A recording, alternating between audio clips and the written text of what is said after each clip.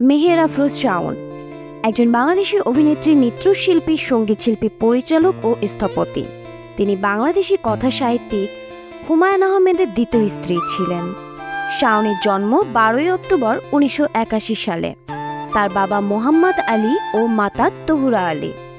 তহুরা আলী জাতীয় সংসদের সংরক্ষিত মহিলা আসনের সদস্য ছিলেন।